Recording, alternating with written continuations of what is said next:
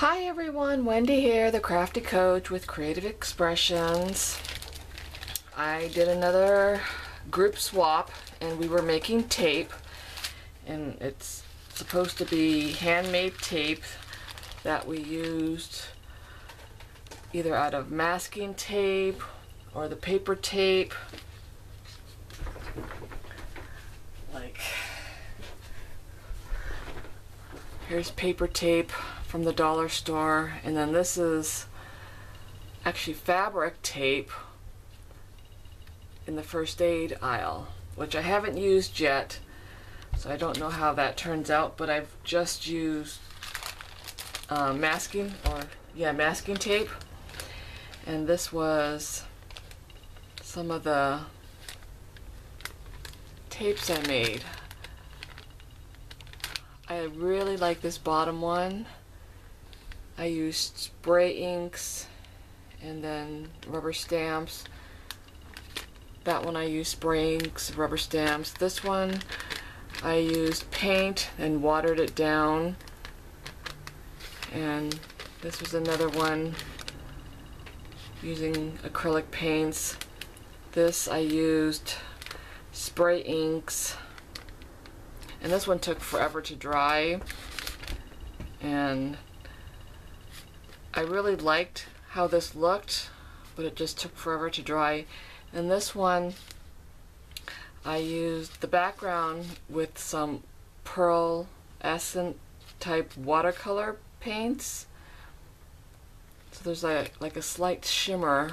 I don't know if you can pick that up on the camera. And then just some rubber stamps, some witch's hat for Halloween.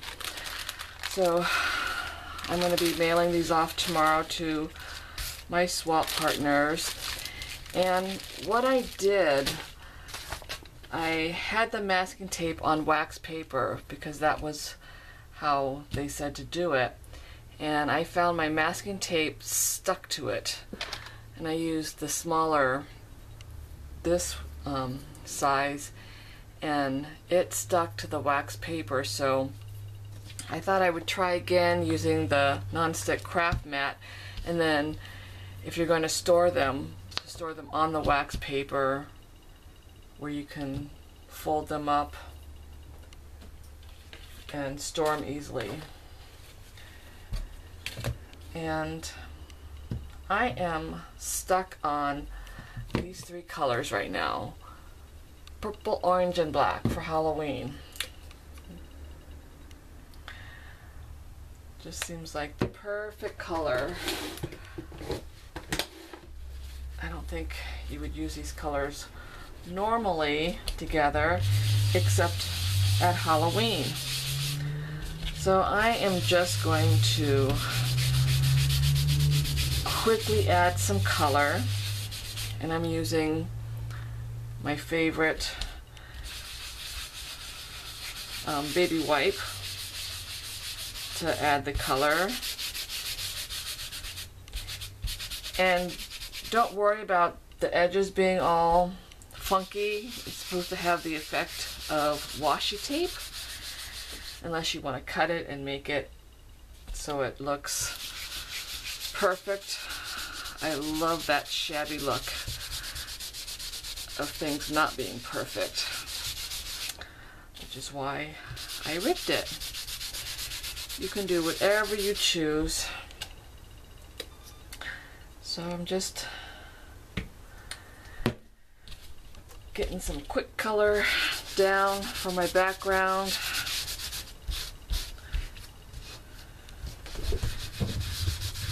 And now it's not sticking, so we won't have a problem with that sticking in the end. And then if you're going to glue it onto a page and it's lost the stickiness, I would use some kind of uh, gel medium or matte medium to, or you know, Mod Podge type thing to get the tape to re-stick itself. So, don't worry if it comes up. So we got the background and I'm not sure what I'm doing. I just thought I would take different texturing tools and this is an old fashioned uh, I remember my grandmother used this when she was making bread to knead it or to cut it up of some sort. I don't know the technical name of it. But I found it at a thrift store and thought, well, that would be a great tool to put some, put down some texture for art. And it makes fun, different impressions.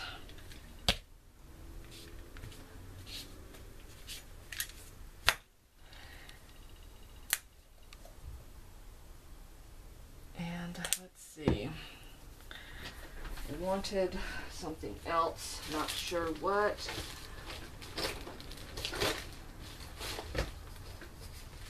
I have a huge little box here of texturing items. And now I'm going to use a toilet paper roll. So just when you think you go through toilet paper and you're curious what you can do besides throw it in the trash, use it for texture and adding layers.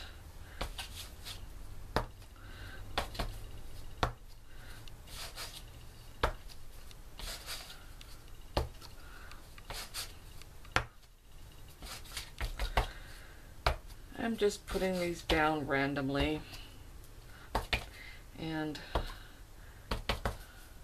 I do like to have things off the edge so that it doesn't really matter if there's a pattern or not. Okay, and I think it needs some white and a little bit of white down.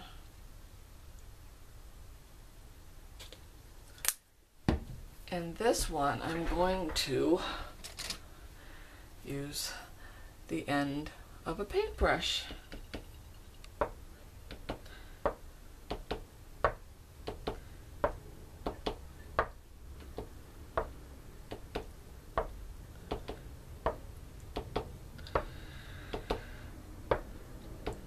So you can see this can be done really quickly. What can you do with this once you're done? Well, you can use it in an art journal page. You can put it in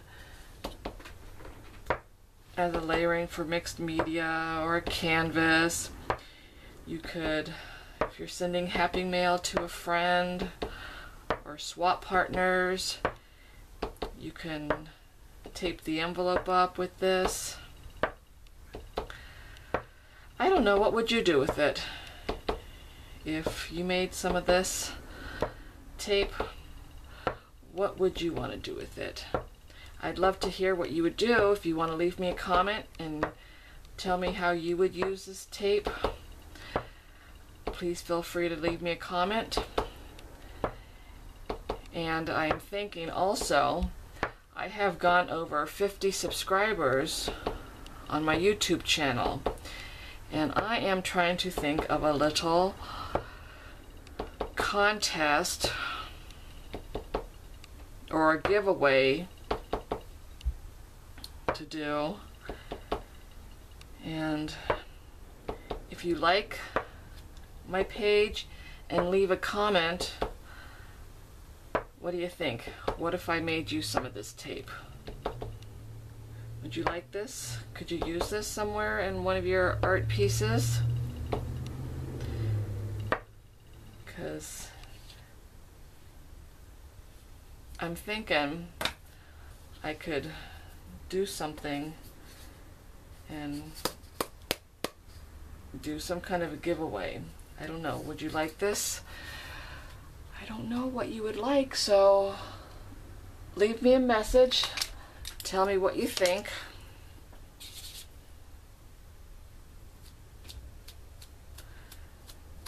If you're thinking this is kind of cool, not cool, well, I hope someone just leaves nice comments, but you know, we all have our different opinions and what we like and don't like. I'm just flying by the seat of my pants right now. Not sure what I'm doing, but I want to do some kind of giveaway now that I've gone over 50 subscribers. So I would like you to keep subscribing, keep liking my videos. Let me know what you like, what you don't like. If you like this tape, how would you use this tape in your art pieces?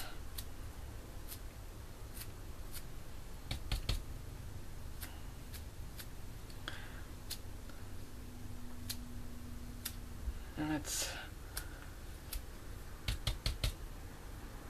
not really flicking as easily. And I like the splatters, but it's not splattering the way I want it to. There we go.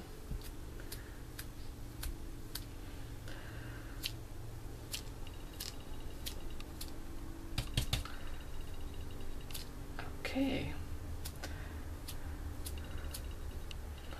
So that's what I have so far. Let me know what you think. Do you like this or not? Please subscribe. Please like my channel. And if you leave me a comment, um, and I choose you if this is my giveaway. I'm not sure if this is my giveaway. I'm not sure how to do a giveaway, but let me know what you think. All right? Remember, find the gratitudes and the joys of friendship. And have a great evening. Bye bye, guys.